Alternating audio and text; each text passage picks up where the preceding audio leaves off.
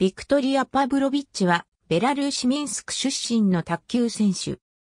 世界卓球選手権には1995年の天津大会から13大会連続出場しており2005年の第48回世界卓球選手権個人戦ではシングルスでベスト8、2006年の第48回世界卓球選手権団体戦では双子の妹のベロニカ・パブロビッチなどと共に団体3位となった。オリンピックでは2000年のシドニーオリンピックのシングルス、ダブルス、2004年のアテネオリンピックのシングルス、ダブルス、2008年の北京オリンピックのシングルスに出場している。